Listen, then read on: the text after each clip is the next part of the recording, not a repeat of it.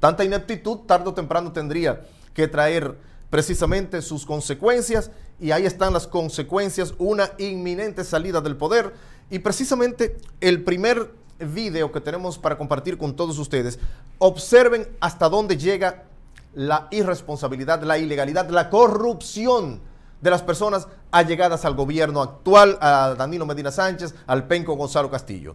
Deli Erasme, un paria, llamado un paria, un irresponsable de las peores, más indecentes, más inmorales bocinas de la llamada prensa, eh, precisamente que para mí es pseudo prensa, un pseudo periodista, porque el periodismo es algo con decoro, ejercer el periodismo con decoro es una profesión noble, ¿cómo voy a decir lo contrario? Pero cuando una serie de fascinerosos, desvergonzados, corruptos, sinvergüenzas, como Deli Erasme, se atreve a decir lo que ese señor dijo el día 22 en un medio de comunicación, vamos primero a ver y a escuchar lo que este señor Deli Erasme, este desvergonzado paria del, del mal llamado periodismo vendido, se atrevió a decir, óigase bien, por esto este señor debería estar preso, él está metiendo al medio tanto a Danilo Medina Sánchez, a las actuales autoridades, como al propio Penco Gonzalo Castillo y a la propia doña Margarita, que es la candidata a la vicepresidencia, amenazar con hacer cosas de maldad para dejarle al PRM, primero, si no se dio cuenta,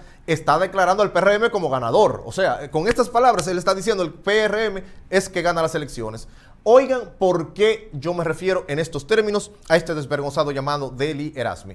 Vamos a pasar con este video, señor director, y luego quiero, ojalá que ustedes se animen y me digan qué piensan de este desvergonzado. Adelante.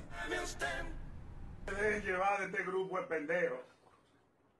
Yo entiendo que el que esté abajo proteste y reclame y exija, porque eso es natural. El PRM tiene 12 y 4 son 16. Y si se ponen a seguir hablando pendejadas que nos van a meter presos a todos, van a quedar hacia afuera hasta el 28.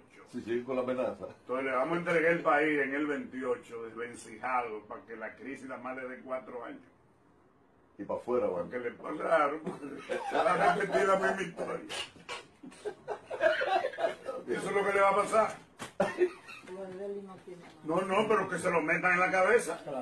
Esa es la realidad. Y si, la, y si la complicación se adelanta, lo vamos a entregar en el 20. Para que le pase igualito que a Hipólito. Cuatro años de turbulencia económica. Y para afuera. Y para afuera los cuatro años. Tú ves que lo que hacen es desbaratar el país. Dígame usted. Dígame usted. Usted escuchó lo que dijo ese indecente.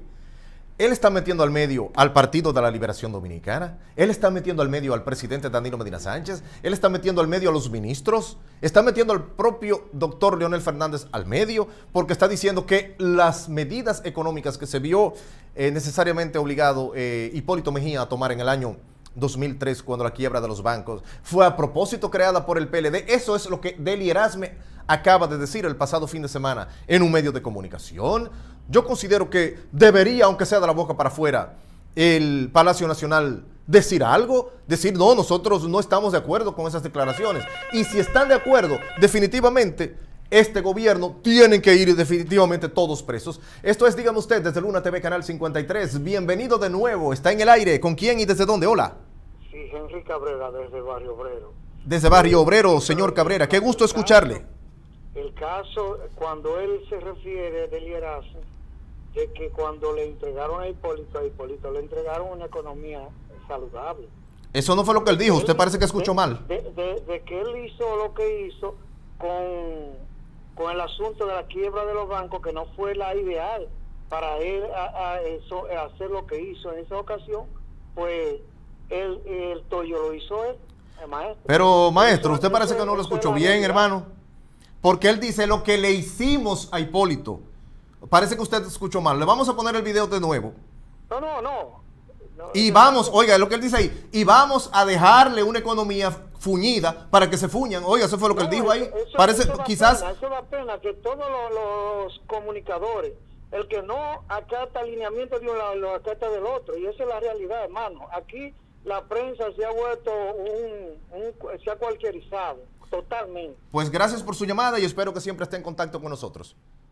Bienvenida a su llamada siempre. Ahí está, 809-226-3353. Esto es Dígame usted desde Luna TV, Canal 53. Ese no es mi colega. Deli Erasme no puede catalogarse como colega nuestro, colega de, por ejemplo, José García, David La Antigua, eh, ¿quiénes más? Todos el, el personal de Luna TV, Canal 53, mis hermanos, mis colegas. ¿Acaso se consideran ustedes de esa misma clase, esa lacra de personas, mancilladores del periodismo, por amor de Dios?